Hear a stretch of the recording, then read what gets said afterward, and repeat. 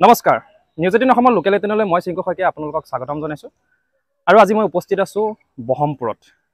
এগৰাকী ব্যক্তি যিগৰাকী ব্যক্তিয়ে মৌ পালন কৰি স্বাৱলম্বিতাৰ পথ দেখিছে। আজি সেইগৰাকী ব্যক্তি মোৰ কাষত আছে মই তেওঁৰ সৈতে কথা পাতিব বিচাৰিম। প্ৰথমে আপোনাক নিউজ এইটিনৰ লোকেল এইটিনলৈ স্বাগতম জনাইছোঁ। নমস্কাৰ মোৰ নাম শ্ৰী নৱজিত নাথ। মই ব্ৰহ্মপুৰৰ নিবাসী। মই বৰ্তমান মৌ পালন কৰি আছোঁ। সৰু সৰুৰে পৰাই মই মৌৰ লগত জড়িত।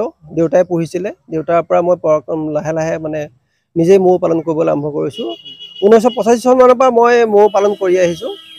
যদিও মই আজি দহ পোন্ধৰ বছৰমানৰ পৰা ব্যৱসায়িক ভিত্তিত কৰিবলৈ আৰম্ভ কৰিছোঁ। যিহেতু মোৰ মানে মানুহৰ চাহিদা বেছি মোৰ উৎপাদন কম। সেইকাৰণে আমি যিটো আমদানি কৰিব লাগে গতিকে আমি নিজাকে মই মোৰ ফালৰ পৰা মই চেষ্টা কৰিছোঁ যাতে আমাৰ মানে গাঁৱলীয়া মানুহ যিখিনি মানুহ আচলতে মোৰ ৰসখিনি আচল ৰসখিনি খাওক ভাল ৰসখিনি খাওক সেইবাবে মই মৌ পালন কৰি আহিছোঁ। আৰু মোৰ এটা মৌ পালনটো মোৰ হবি যিহেতু সৰুৰ পৰা দেখি আছোঁ যে মই মৌ পালন কৰিলে অন্ততঃ মোৰ লগতে দহৰ বেমাৰ আজাৰৰ কাৰণে যিখিনি প্ৰয়োজন হয় ঔষধ তাত মৌ বিশেষ চাহিদা আছে বিশেষ প্ৰয়োজনীয়। সেইকাৰণে মই মৌটোক মোৰ বৃত্তি হিচাপে বাছি লৈছোঁ আৰু মৌ পালন কৰি মই বৰ্তমান জীৱিকা নিৰ্বাহ কৰিছোঁ। এটা কথা জানিব পাৰিছোঁ যে আজিৰ আজিৰ দিনত আপুনি যিহেতু জানিব পৰা মতে বহু আপুনি উচ্চ শিক্ষা গ্ৰহণ কৰিলে আপুনি হয়। স্নাতকৰ বহুতখিনি হেৰি কৰিলে। যিহেতু বৰ্তমান সময়ত বহু যুৱক যুৱতীয়ে চাকৰি বিচাৰি হাতত উঠাই দিছে। আপুনি কিমান চনত আপুনি ধৰক স্নাতক পাছ কৰিব মই ঊনৈছশ বিৰানব্বৈ চনতে মই স্নাতক ডিগ্ৰী লাভ কৰিছোঁ। তাৰপিছত মই শংকৰদেৱত মই সংস্কৃত সংস্কৃত টিচাৰ হিচাপে কাৰ্যনিৰ্বাহ কৰিছিলোঁ পোন্ধৰ বছৰ। তাৰপিছত মই আকৌ সংস্কৃতত মই স্নাতক ডিগ্ৰী আকৌ লাভ কৰোঁ। তাৰপিছত মই এম এ কৰিলোঁ। তাৰপিছতো মই চাকৰিৰ লগত বিশেষ জড়িত নহৈ মই যিহেতু মোৰ হাততে মৌ পালনটো আছে গতিকে সেই মই মৌটোক মই জীৱিকাৰ পথ হিচাপে বাছি লৈছোঁ যিহেতু মোৰ চাহিদা বেছি মৌৰ পৰা মই লাভৱান্বিত হৈছোঁ। মই একোবাহ মৌৰ পৰা বছৰি ত্ৰিছ কেজি মানৰ পৰা ৰস উলিয়াওঁ আৰু মোৰ ধৰি লওক এতিয়া পঞ্চাছ বাহমান মৌ আছে। আমাৰ যিটো লোকেল চেৰেনা প্ৰজাতি আছে আৰু মেনিফেৰা প্ৰজাতি আছে যিটো অষ্ট্ৰেলিয়ান এমি ইটালিয়ান যিটো প্ৰজাতি সেইটো মোৰ তাত আছে। আপোনাৰ আপোনাৰ পিতৃও এই মৌ পালকৰ লগত যে হয়, হয় দেউতা শিক্ষক আছিলে। যদিও তেখেতে ঊনৈছশ সাতষষ্ঠি চনৰ পৰা মৌ পালন কৰি আহিছিল। তেখেতে সেই বৃত্তিটোকে মই আৰম্ভ কৰিছোঁ। যিহেতু দেউতাৰ বৃত্তিটো মই ৰাখিব লগা হৈছে। কেনে? কাৰণ মৌ আজিকালি মানুহে পুহিবলৈ টান পায় নোপোহে ভয় কৰে। আৰু মৌটো পোহাটো আপোনাৰ ভাল কিয়? মৌৰ পৰা যিখিনি আমি পইচা আহৰণ কৰোঁ সেইখিনিও লগতে মোৰ নিজৰ পৰিয়ালটোৱে বা মোৰ অঞ্চলৰ মানুহে আচল ৰসটো খাবলৈ পাইছে। প্ৰকৃত যিটো মৌ ৰস আৰু বৰ্তমান মই মৌটোক ছটামান ফ্লেভাৰত মই মৌটো আজিকালি উৎপাদন কৰিবলৈ আৰম্ভ কৰিছোঁ।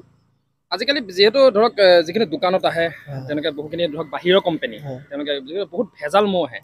আপুনি যিহেতু এটা শুদ্ধ আপুনি দি আছে। হয় বাহিৰৰখিনি মই কথা নকওঁ কাৰণ মই নিজেও জানো যে মই মানে সততাৰ নিষ্ঠাৰ কাম কৰিলে আপুনি উন্নতি নিজে আগুৱাই যাব পাৰিব। এতিয়া মোৰ মৌখিনি সততা আছে কাৰণে মানুহে মোৰ তাত বিচাৰি আহে। আৰু মই প্ৰকৃত মৌ মানে প্ৰকৃত মৌ যিটো মৌ ৰস সেইটো মই মানুহক দিবলৈ সক্ষম হৈছোঁ। মই আপুনি যদি অকণমান দেখুৱাই দিয়ে এয়া আপোনালোকক দৃশ্য দেখুৱাইছোঁ মোৰ কেমেৰা সহযোগীয়ে দেখুৱাই আছে। এয়া হৈছে তেওঁ যি মৌ মৌ পালন কৰে সেই এটা ঘৰ বান্ধি এটা ঘৰ বনাই পেলাই তেওঁলোকে ইয়াতে মৌ ৰসখিনি তেওঁ সংৰক্ষণ কৰি ৰাখিছে। এইটো এইটো কোন জেগা হয়? এইটো আমাৰ ইটালী আমাৰ লোকেল থলুৱা আমাৰ যিটো থলুৱা থলুৱা প্ৰজাতি মৌ যিটো এপি মেনি এপি চেৰেনা বুলি কয় এইটো এইটো এপি চেৰেনা। এইটো প্ৰজাতি আমাৰ থলুৱা প্ৰজাতি সকলোতে এইটো আমি পোৱা যায়। আমাৰ গাঁৱৰ ভূঞে সকলোতে আমি এই মৌটো পাওঁ আৰু এই মৌটো খুব সোনকালে পুহি পঢ়ে একোবাৰ মৌৰ পৰা মই ত্ৰিছৰ পৰা পঁয়ত্ৰিছ কেজি ৰস এবছৰত উৎ- উৎপাদন কৰিব পাৰোঁ। আৰু মৌটো ৰসটো প্ৰতি ছিজনত মই বেলেগ বেলেগ কৰোঁ যেনে সৰিয়হ ছিজনৰ ৰসটো বেলেগকৈ ৰাখোঁ আমৰ ছিজনত তেনেকৈ বেলেগকৈ ৰাখোঁ জামুৰ ছিজনত বেলেগকৈ ৰাখোঁ প্ৰতিটো ৰসৰ গুণাগুণো বেলেগ প্ৰতি ৰসৰ সোৱাদো বেলেগ প্ৰতি ৰসৰ কালাৰো বেলেগ। মই বৰ্তমান ছটামান ফ্লেভাৰত মই ৰসটো বেলেগ বেলেগকৈ ৰাখিছোঁ যিটো মই আমাৰ যিটো এগ্ৰিকালচাৰ যিবিলাক আমাৰ যিবিলাক প্ৰদৰ্শনী হয় বা যিবিলাক চেমিনাৰ হয় তেওঁলোকে তাত মই এইবিলাক প্ৰদৰ্শন কৰোঁ তাতে এগ্ৰিকালচাৰ ছাৰহঁতে তেওঁলোকে সেইবিলাক এই বস্তুখিনি বেলেগত দেখুৱাইছে।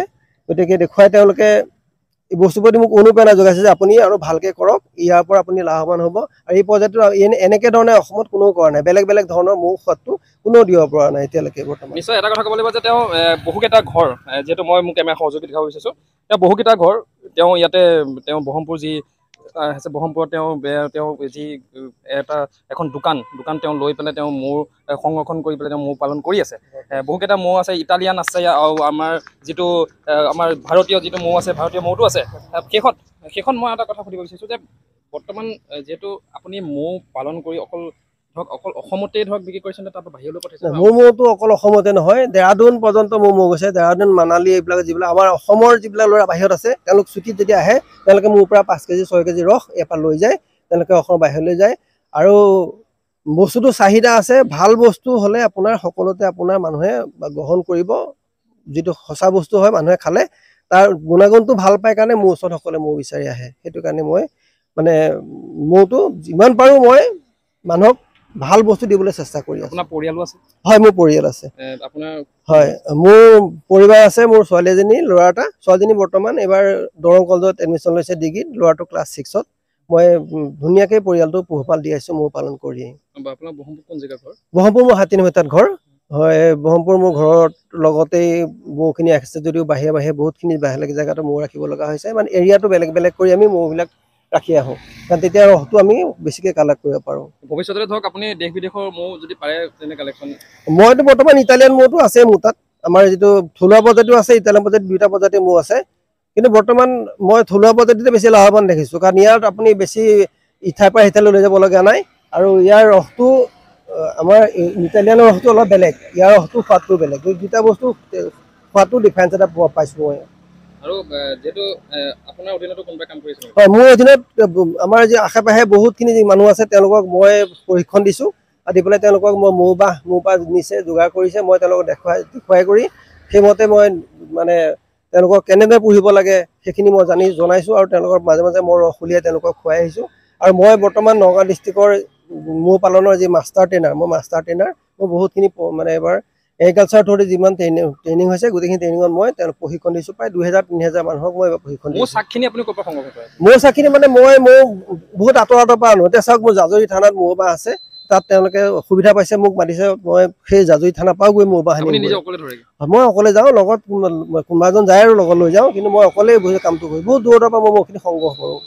বৰ্তমান সময়লৈকে আপুনি এগ্ৰিকালচাৰ বিভাগৰ পৰা। কিবা আপুনি সাহায্য তেনেকুৱা অলপ পাইছে নেকি? হয় এগ্ৰিকালচাৰ সাহায্য মানে ধৰি লওক মই যিটো ইটালিয়ান মৌটো আছিলে তাৰ মই পোন্ধৰ বাহ মৌ এটা আনিছিলোঁ। সেইটো ৰাজ সাহায্য হিচাপে সেইটো তেওঁলোকৰ পৰা মই পাইছোঁ। বাকী কৃষকৰ যিটো পইচা সেইটো আজি চাৰি মাহমান ধৰি পেলাই মই কৃষকৰ পইচাটো মানে কৃষি যিটো লগত জড়িত গতিকে মই কৃষকৰ পইচাটো পাইছোঁ। নিশ্চয় এটা কথা ক'ব লাগিব যে তেওঁ এনেদৰেই এই ব্ৰহ্মপুৰ যি আছে ব্ৰহ্মপুৰত তেওঁ মৌ পালন কৰি আহিছে ঊনৈছশ পঁচাশী চনৰ পৰা তেওঁৰ দেউতাকেও এই ক্ষেত্ৰত তেওঁ বৰ্তমান সময়ত তেওঁ সহযোগ কৰি আছে। আৰু এনেদৰেই তেওঁ আগবাঢ়ি যাওক মৌ পালনৰ ক্ষেত্ৰত। আৰু যিহেতু আজি মই আপোনালোকক এয়া ব্ৰহ্মপুৰৰ পৰা দেখুৱালোঁ।